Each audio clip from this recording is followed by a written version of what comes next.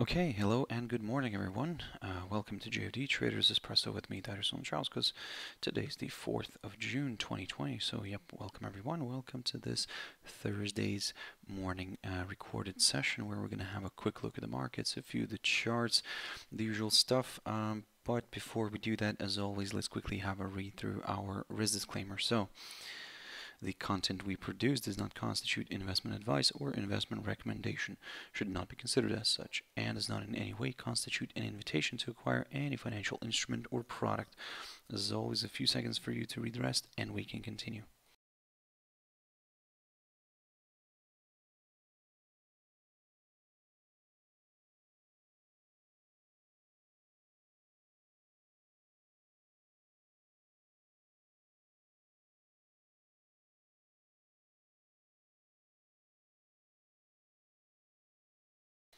Okay, so now then, before we uh, jump in into the charts, as always, a uh, quick mentioning of our JFD YouTube channel, to which you can always subscribe to in order not to miss any of our upcoming videos, and of course our JFD Bank website, and specifically our JFD research page, which we also update on a daily basis. So yep, feel free to visit us here on jfdbank.com and click on the research tab right there on the top.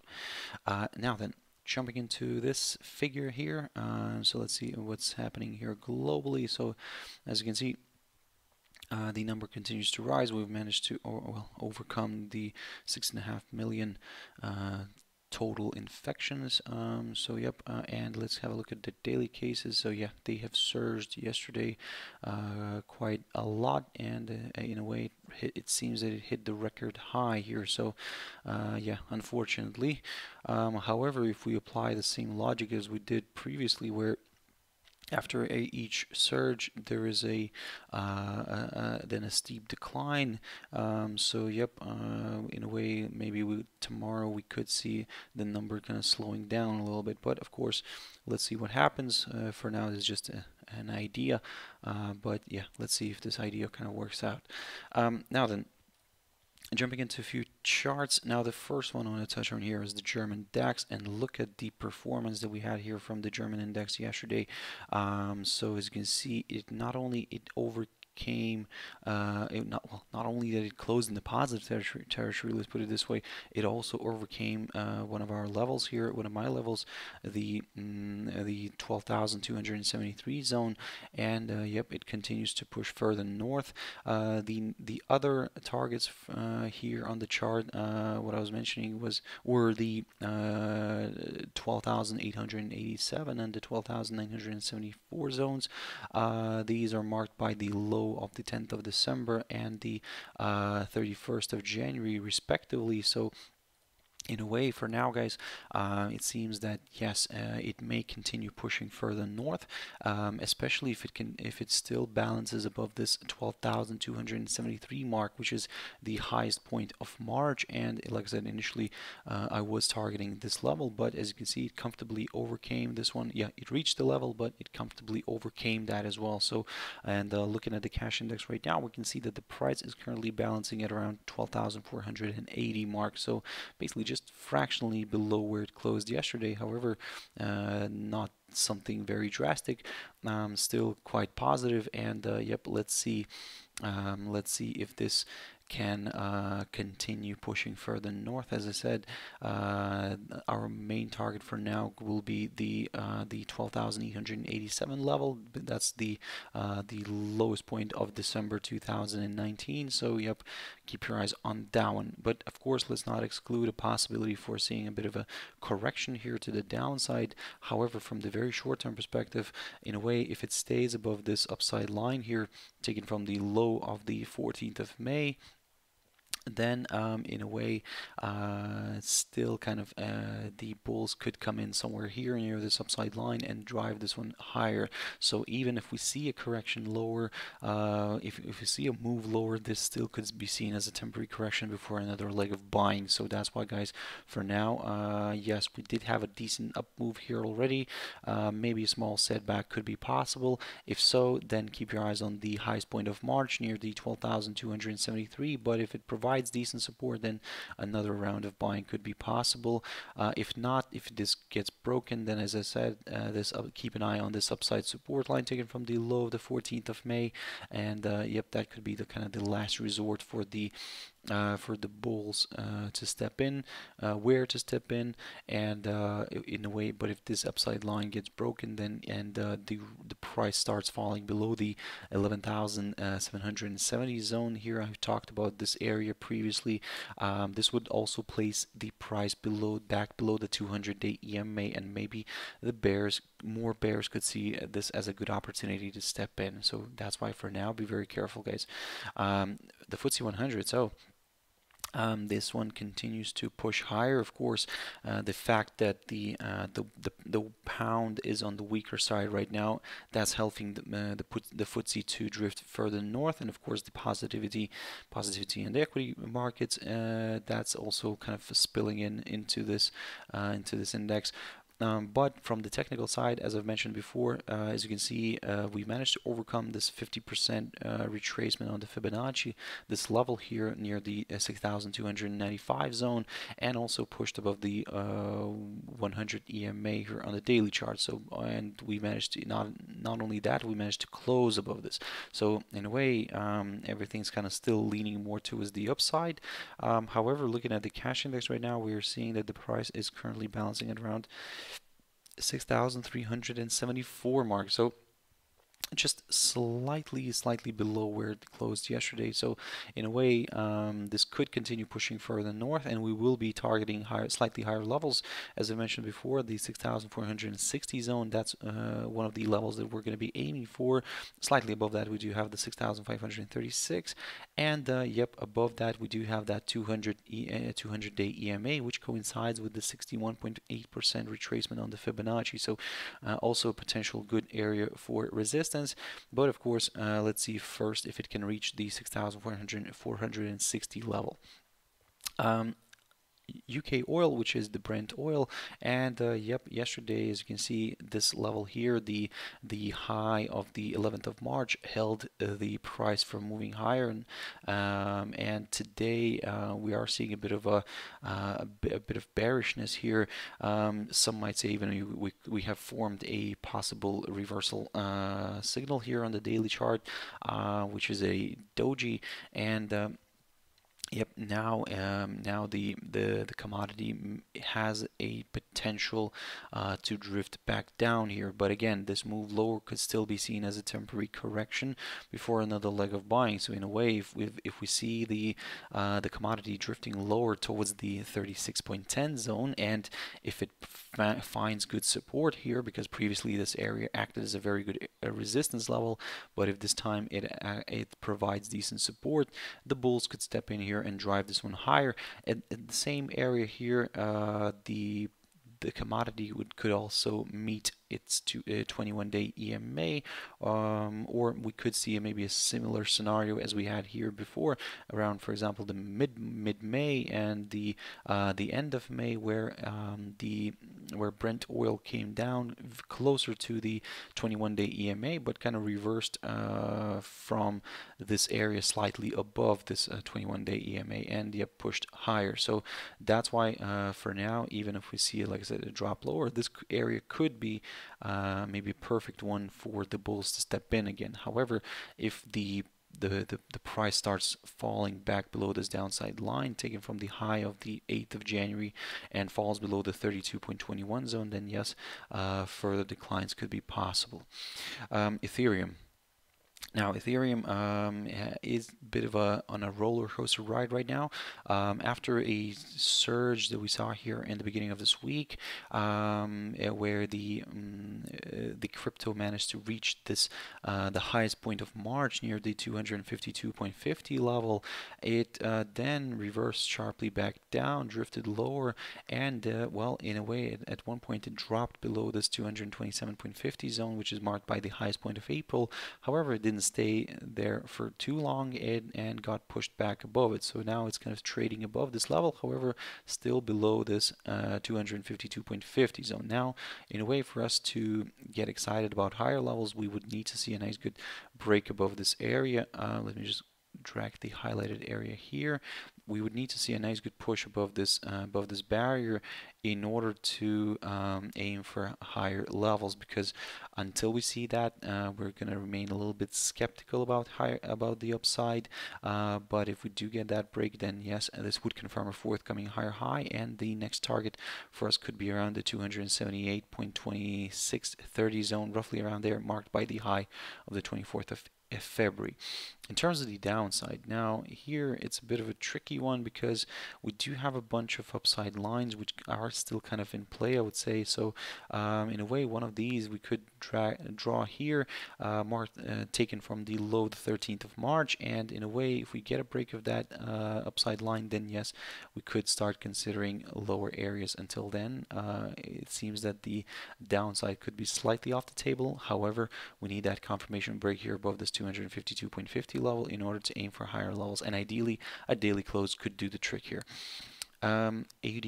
So uh, this one, uh, this morning we had some data from Australia, and uh, basically the the retail sales came out slightly better uh, than the forecast. Uh, the forecast was at minus 17.9%. That the, the actual figure uh, came out at minus 17.7. So just a slight improvement. However, let's not forget that still this is a very very bad number overall because let's say let's say even comparing to the previous uh, month's number which was in uh, which was at plus 8.5%. This one, like I said, is at minus 17.7%. So overall, it's still not good. Uh, so we can see that yes, the the pandemic is kind of affecting the uh, all the retail sales in uh, across the globe. And uh, yep here for example you can see that the yesterday the pair drifted higher. It got a hold up near this 0.6934 zone which is marked by the high of the 16th of January. Uh, and today we did have another test of this area. Yesterday we had an overshoot but we didn't close the daily candle above it. And this morning we are seeing another test of this area. And now the mm, the the pair the pair here is uh, it seems that it's kind of uh, trying to probably uh, move back down maybe but even so if it moves lower here uh, still the uh, the upside scenario will be the main one as long as the uh, the pair remains above this upside support line taken from the low of the 19th of March. So something like this could be possible where we could see a drift lower a correction lower um, and then if this upside line uh, continues to provide support then yes another round of buying could be possible uh, where we could then aim for the uh, the highest point of January, uh, or in other words, the, the current highest point of this year near the 0.7032 uh, zone. And well, yep, we'll take it from there after. In terms of the, in terms of the downside, we need to see a break of this upside line and a drop below this 0.6677 level that I've, that I've mentioned uh, yesterday. So keep your eyes on that one. US dollar against the Swiss franc. So something to monitor right now because this morning because we do have the Swiss inflation figures coming out year on year and month on month basis for the month of May. Um, the expectations right now are for a, uh, well, the year on year is expected to have declined to minus 1.3%. However, the month on month figure is believed to have risen slightly Mm, from minus 0.4 to plus 0.1 so just a slight kind of move above zero. And uh, yep let's see how all this is going to play play out. The um, to be honest for now um, looking at this picture looking at US dollar against the Swiss franc we are seeing that the pair is stuck within a range here within this wide range roughly between the 0.9580 and the 0.9797 levels um, we need to see a nice good break through the lower side of the range first before we could consider uh, let's say larger extensions to the downside. Uh, however for now um, yes from the very short term perspective it is on a bit of a decline. However we cannot really do anything until we see that daily close uh, below the one, uh, 0.9580 zone. So let's keep an eye on this one. And in terms of the upside uh, we would need to see a push above the 0.9681 zone roughly around here before we could maybe examine a possibility of this pair moving towards the upper bound of the range near the 0.9797. Uh, quick update on Euro CHF, not much to talk about here uh, because I've talked about this one yesterday. And uh, basically what the, the, main thing is that this level here acted as a very good area of um, of, of resistance near the 1.08 uh, 12 zone. We did have a small overshoot. However um, it still remained uh, below this. The rate still re remains below this barrier.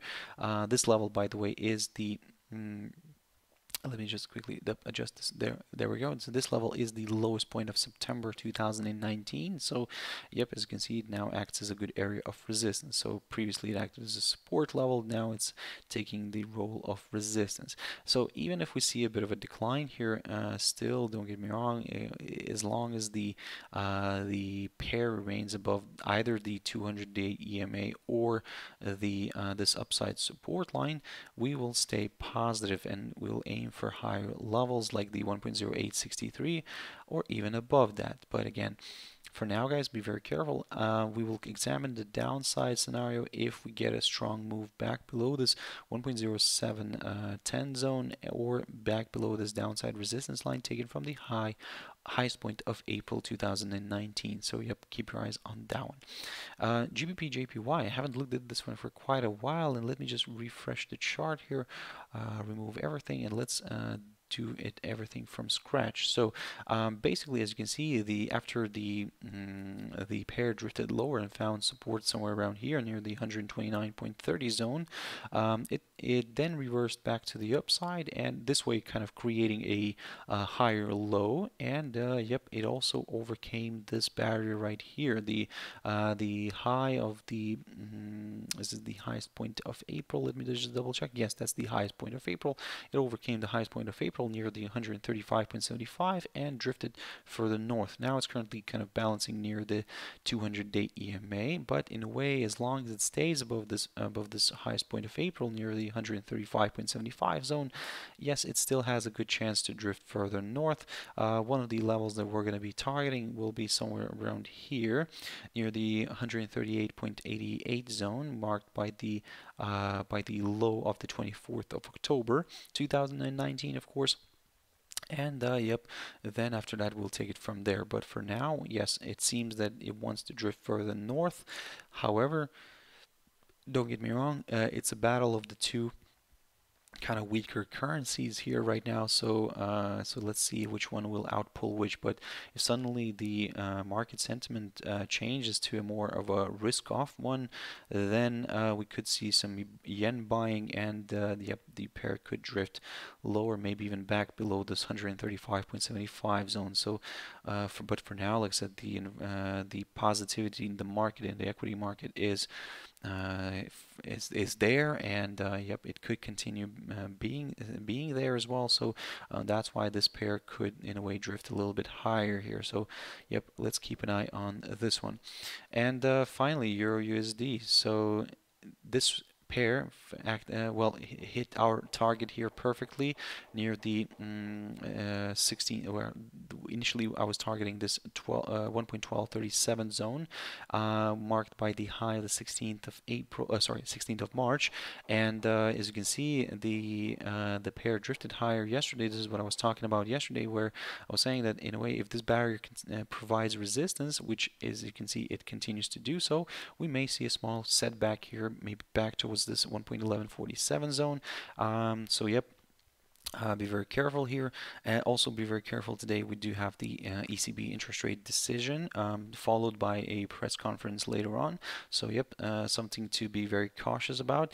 Uh, however, of course, the interest rate will stay the same, but let's see if there will be any changes to um, to any stimulus packages um, uh, from the ECB. So um, so yep, let's we'll monitor that carefully. However, like I said, be very uh, be cautious here today. Yeah yes, uh, the main scenario for now at the moment is this that we could see a bit of a correction here to the downside uh, towards the 1.1147 and if it provides decent support a nice uh, round of buying could be seen here again. And maybe we could this time overcome this uh, 1.1237 zone and then yep target higher levels. But again like I said be very careful today and uh, yep keep your eyes on the price action. So guys I hope you found it useful and uh, thank you very much for watching and listening. If you want to catch my video later later on, my traders uh, tea time uh, at around 13:15 GMT. We'll have a look at some of these instruments, some new ones, and uh, yeah, we'll take it from there. But I really appreciate your your time, guys. Thank you very much, and I'll see you later. Thank you very much, and bye bye.